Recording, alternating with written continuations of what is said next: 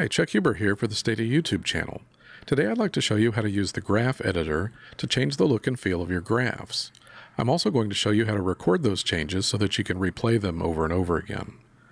I'm going to be using this, the auto data set, and you can open this data set by typing sysuse auto, and I'm going to begin by making a graph. So let's click graphics and select two-way graph.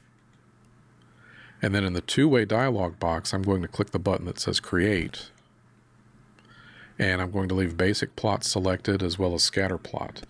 So next I'll select my x variable, which is weight of the car, and then my y variable is mpg, or the miles per gallon, and then I'll click accept and OK, and it will draw my scatter plot. So the first thing I need to do is open the graph editor. So I'm going to do this by clicking this icon that says, if you hover over this icon, it says Start Graph Editor on the toolbar at the top. And before I begin editing, I'd like to record my changes. So if you notice there's a little red button here, a red icon, uh, an icon with a red dot on it that says start recording. So I'm going to click that and then I'm going to make some changes. So maybe I'd like to change the uh, labels for the y-axis uh, so that the numbers are displayed horizontally. So I could select horizontal, that changes that. Uh, maybe I'd like to change some things about the markers. Maybe I'd like to change the color from navy to red. Uh, maybe I'd like to make them uh, medium small instead of medium. And I can even change the, uh, the marker symbol. So I might want to use a, uh, a hollow circle uh, instead of a solid circle. And I can change other things such as the axis labels or titles and other things.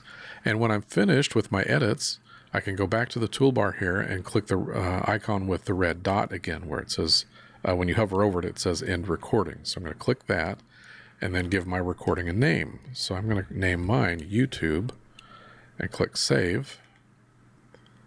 And now Stata has saved a recording of those changes that I made. So let's close this graph. I'm just going to click don't save. Now, uh, a couple of things I can do. I'm going to double click this on the in the review window to recreate my graph. And then I'm going to start the graph editor again.